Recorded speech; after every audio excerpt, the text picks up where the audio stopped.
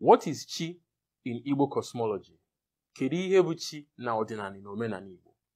Now, the ancient Igbo, ndị Igbo said that onye nyobe mmụọ ofuchi ya.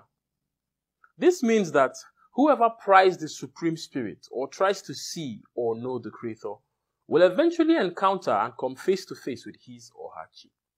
Now, Hello, beautiful people. I found this video and I couldn't help but share it with you. This is coming from the voice of the sun, teaching about Chi in Igbo cosmology. Watch and learn. chi comes first in our interactions with the universe and the creation around us. And that is why we say chi bu uzo, chi bu uzo.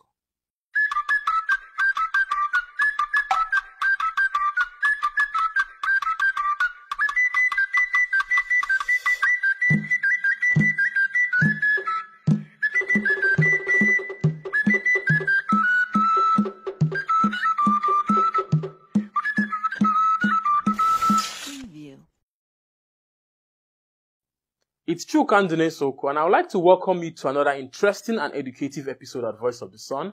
Today I'll be speaking on the concept of Chi in Igbo cosmology, in Ordinary Nomen and Igbo. Now, there are two distinct meanings of Chi, of the word Chi in Igbo cosmology and worldview.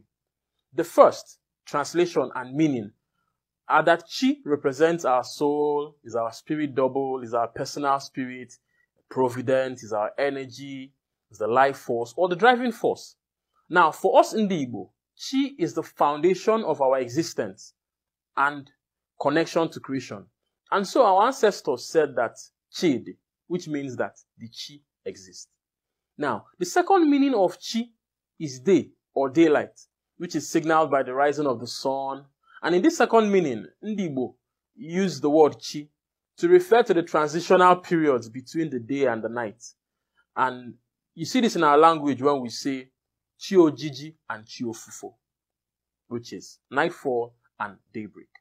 Now, to understand the meaning, the origin, and the essence of Chi in Igbo Ordinary Omenani is to basically attempt to unravel the mystery, which is Chukwu, the benevolent creator. Now, this is a feat that our noble ancestors have attained, for the concept of the Chi in human life and existence is woven deeply into the very fabric of Igbo spirituality, cosmology, and worldview. Now, let me give a brief definition of Chi and then expand on the various aspects of that definition as captured in the wisdom and belief of our ancestors.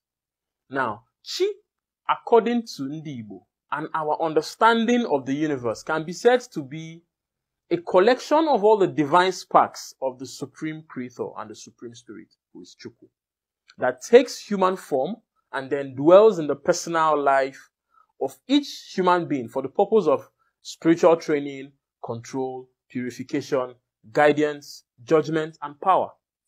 Now, the Chi can be referred to as a personal god or goddess or a personal deity. Now, the Chi embodies our individuality where no two people are the same, you know, and this is embodied in the Igbo saying, Onye na Chia, meaning one and his or her Chi, or one and his or her personal connection to Chukwu, the Creator. Now, Ndibo, our ancestors, in defining the source of all things good or bad in a person's life, named their children names like Ife Sinachi, meaning things come from the Chi. Now, this clearly shows that the Chi is the ultimate provider for us in our life journey here on earth.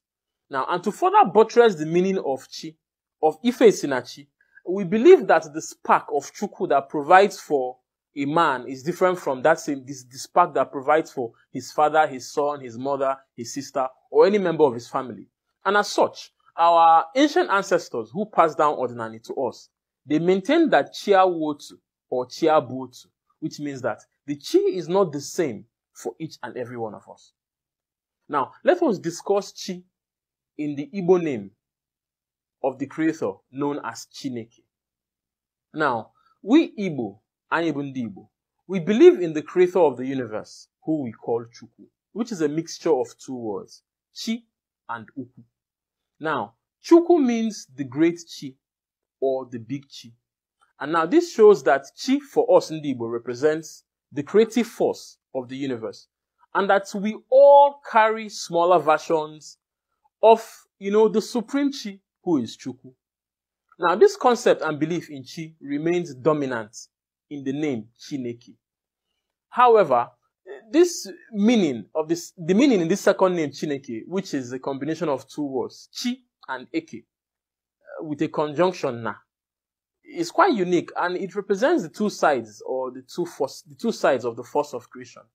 Now, although most of us modern Igbo people believe that Chineke means God the Creator, it has a deeper meaning found in Ordinary Nomenani, you know, as against um, a shallow translation of Chineke to God the Creator done by the early missionaries and their converts.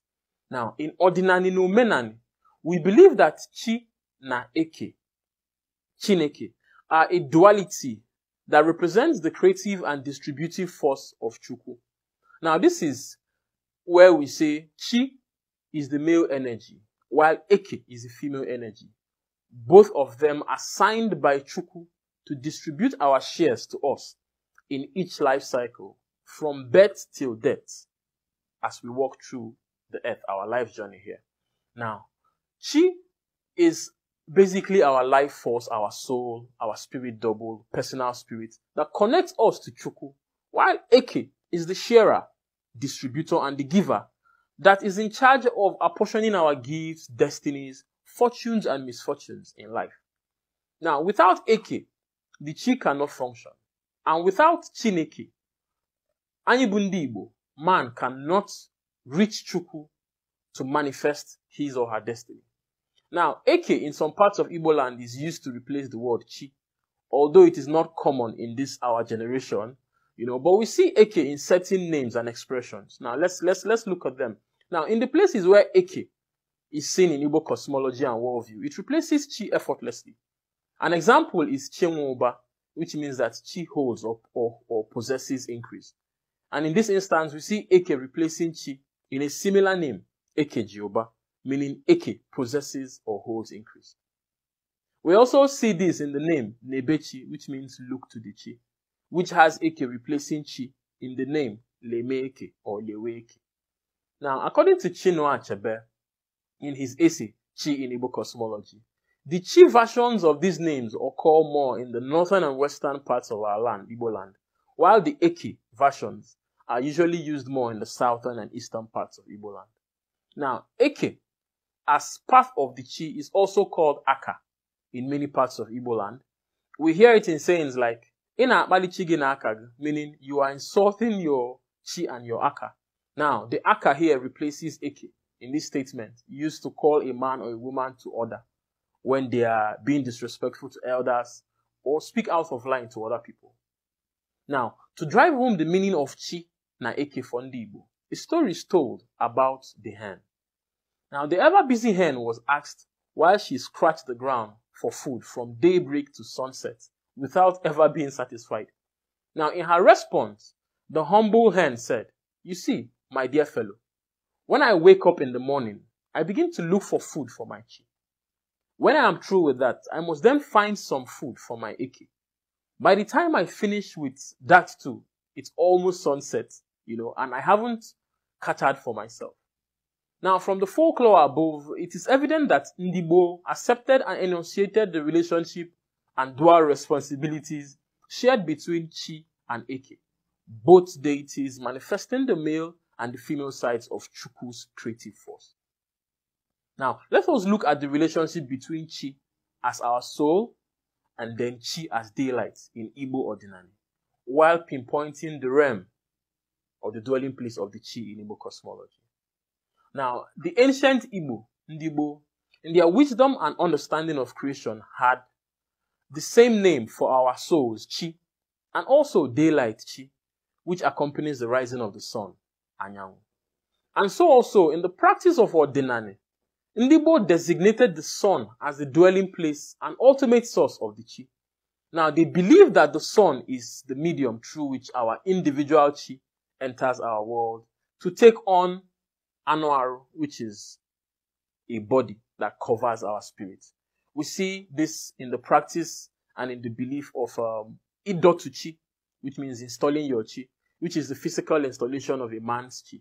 Now, this happens when a man comes of age in many parts of Igbo land. He is expected to physically invite his chi into his home by setting up a shrine dedicated to the complete communication with his chi. Now, he will invite a dibia to perform the rituals of Idotu chi, which is bringing down the chi from the face of the sun, you know, at daybreak. Now, the chi is invoked into the open chi and will remain in the man's compound until the day of his death, when the shrine must be destroyed.